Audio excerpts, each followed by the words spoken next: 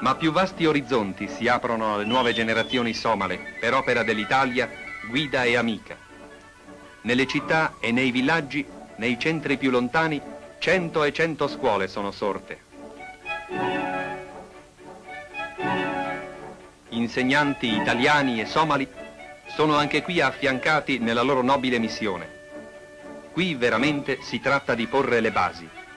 Anche questa è una terra vergine che attendeva da millenni l'opera del bonificatore.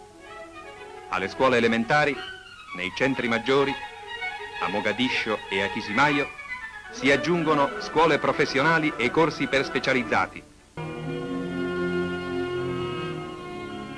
Il minareto di Mogadiscio segna sulla sua meridiana una storica ora nella vita del popolo somalo sotto l'amministrazione fiduciaria che le Nazioni Unite hanno affidato all'Italia nel Consiglio territoriale della Somalia i rappresentanti dei partiti somali prendono diretta parte alla vita amministrativa del loro paese.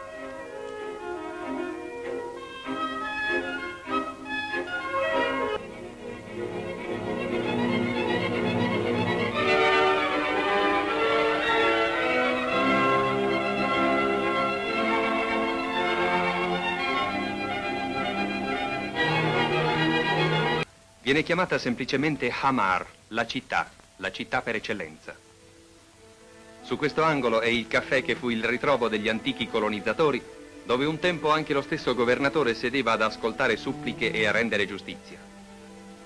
Di fronte ad esso, il bianco minareto della moschea di Arbarukun si erge come l'ago di una gigantesca meridiana a segnare le ore buone e cattive.